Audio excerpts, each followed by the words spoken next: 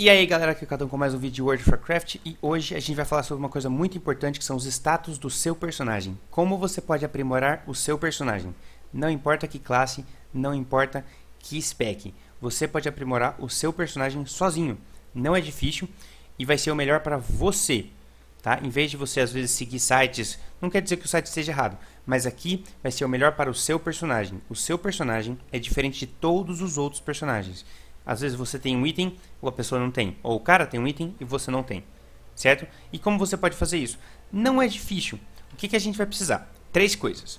Número um, você precisa ter três, é, dois ADD11. Número um, um chama Sync, vai ter aqui embaixo, Simulation Craft, quer dizer, vai ter aqui embaixo o link dele para você baixar.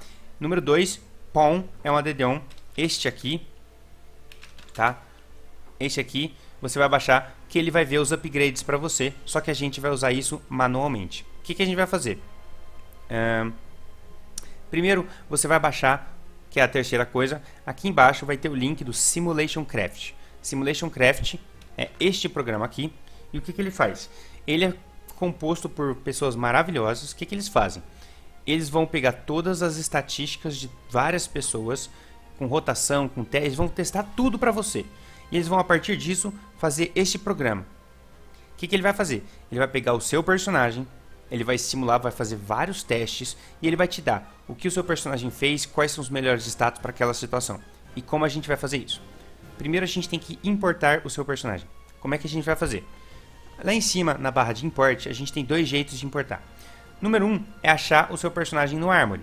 Então você coloca aqui o nome do seu personagem e vai cair, quando você clica, ele aparece aqui embaixo ou você pode colocar o link do seu personagem aqui embaixo, tá? A outra maneira é simplesmente você copia é, copia o seu personagem, certo? Como é que você copia?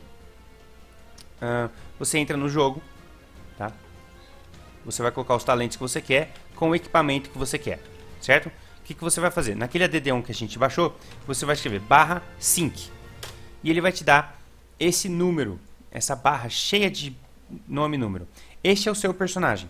O que, que você vai fazer? Você vai dar Ctrl A e Ctrl C. Ok? Copiamos o nosso personagem. E onde a gente vai jogar? Aqui dentro. Tá? Primeiro a gente vai mexer nas opções. Aqui é o que seu personagem vai fazer.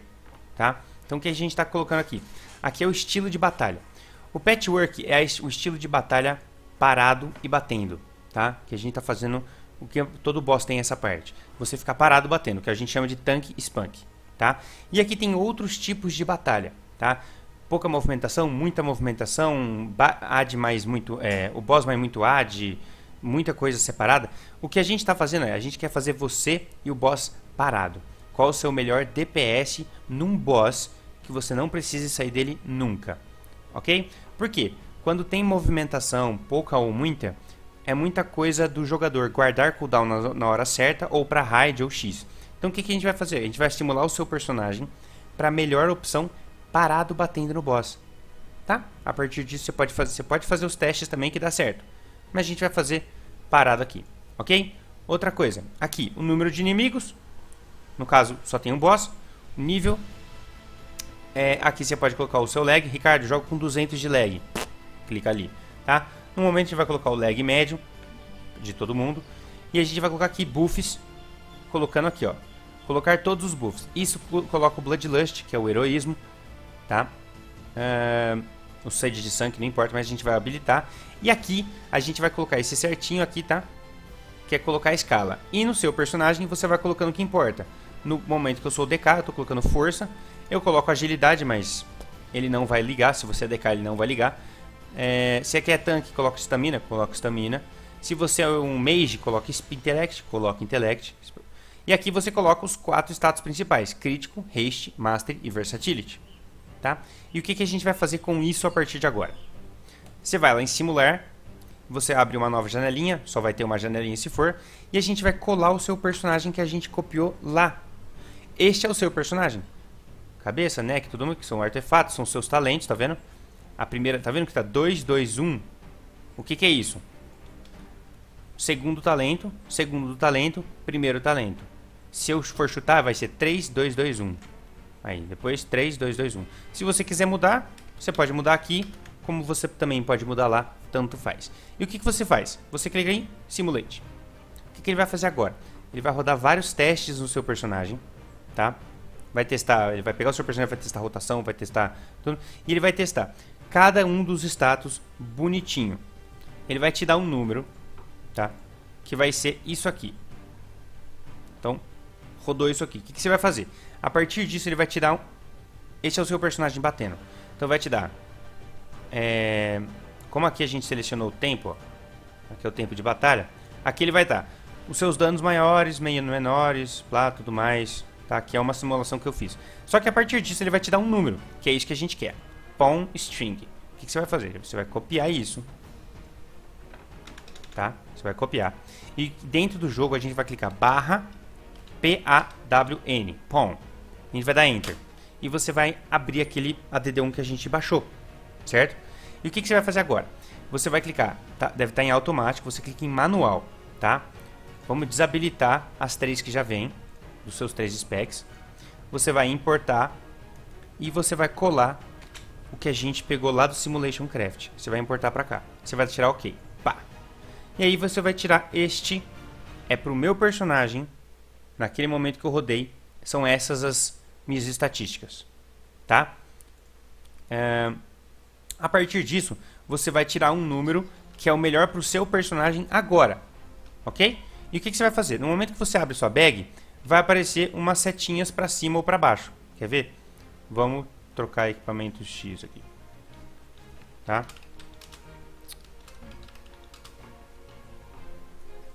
Aqui o que, que vai aparecer agora?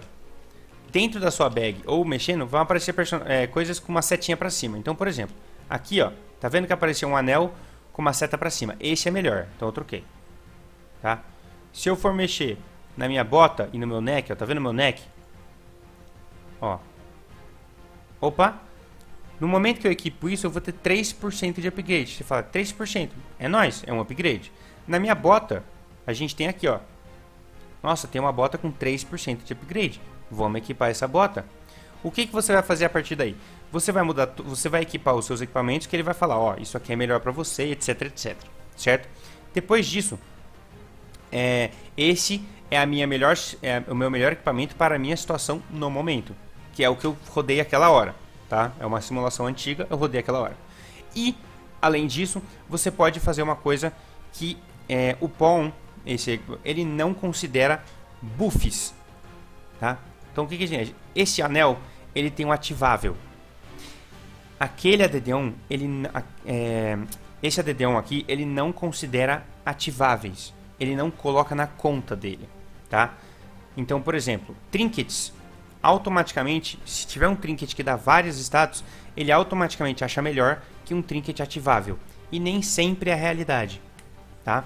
Então o que, que a gente tem que fazer? Com, é, trinkets em si, trinkets, você tem que fazer uma comparação. Como é que você faz essa comparação? Dentro desse programa, você poderia simular um depois o outro, depois o outro, depois o outro, depois o outro. Como é que você faz, é, como é que você faz uma simulação muito mais rápida, tá? Então, por exemplo, dentro dessa simulação, tá? Vamos pegar uma simulação agora. Eu quero dentro deste equipamento, eu quero testar dois sets de trinkets. Então o que, que você faz? Você vai pegar este personagem agora e a gente joga aqui. Este é o meu personagem do momento que eu rodei, ok? E o que eu quero fazer? Eu quero trocar estes trinkets. Pô, Ricardo, eu acho que o Memento e esse vai ser diferente. Então, este aqui é o Memento junto com I of Command. E a gente escreve aqui, só por desencargo de é, mais Memento, ok? E o que, que você vai fazer para simplesmente simular outro. Aqui embaixo você vai escrever copy igual e você abre um parênteses. E aí você vai dar um nome para essa outra coisa. Então a gente vai colocar aqui i mais, vamos ver um outro aqui. Um, esse aqui, Hunger of the Pack. I mais Hunger, tá? E o que, que você vai fazer a partir daqui? Você vai colocar sync de novo e você vai Tá vendo aqui, ó, trinket 2. Tá vendo que eu troquei o trinket de baixo? Esse é o trinket 1 e esse é o trinket 2. Você vai fazer o quê? Você vai copiar isso aqui, só essa linha, que você só, eu só troquei esse equipamento. É a única coisa que eu troquei. Você vai copiar e você vai colar aqui. O que, que isso significa? Quer dizer que ele vai pegar tudo igual e ele vai trocar uma coisa, o Trinket 2.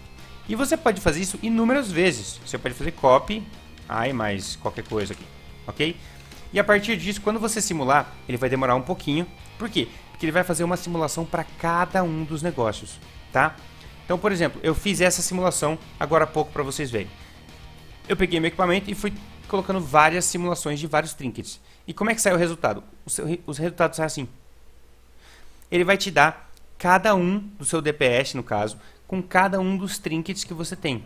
Ele vai simular um para um para um e ele vai falar, olha, nessas nessas que você me deu, essa combinação é a melhor. E você vai fazer isso para todos os trinkets, para cada uma das combinações, para os trinkets que você acha que são os melhores.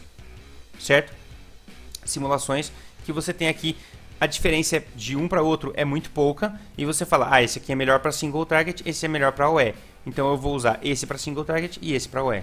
É um exemplo, tá? Mas a partir disso, você, você sabe que aqui para single target qual vai ser o melhor sem parar de bater no boss pelos 300 segundos que ele está colocando. Certo? Maravilha. Então isso serve para todo mundo. Todo mundo. E você pode fazer isso manualmente. Vocês veem que não foi difícil. É super simples. Todo mundo pode fazer. E você consegue aprimorar o seu personagem para o melhor que você tem. Nem todo mundo tem todos os equipamentos que todo mundo acha a partir do logs. Lendário você pode testar entre dois lendários. E é isso importante que você troque também os talentos. Para talentos diferentes, existem coisas diferentes que você vai ter. Então, se eu trocar os talentos para tipo isso aqui, se eu for rolar lá no Simulation Craft, ele vai dar uma coisa diferente para eu colocar aqui no Palm, tá? Por quê? Porque a partir disso eu tenho mais AOE, então ele vai te dar os números do AOE e você vai trocar o seu equipamento de novo. Então você pode fazer vários equipamentos para várias situações. É assim que você consegue saber qual status é melhor para aquele momento exato. Certo? Então, gente, é isso que vocês têm que fazer com seus personagens. Usem, usufruam e passem muito tempo naquele ADD1, é, naquele programa, junto com o seu personagem. Você consegue tirar 100% ou 99% do seu personagem isso.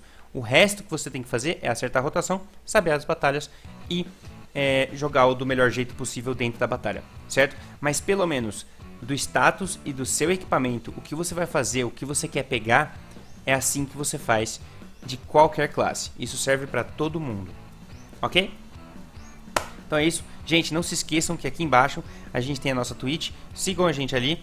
É, toda segunda-feira é o sorteio de 30 reais da Baronet para todo mundo que é subscriber, que é inscrito na, na Twitch ou no Patreon aqui embaixo também.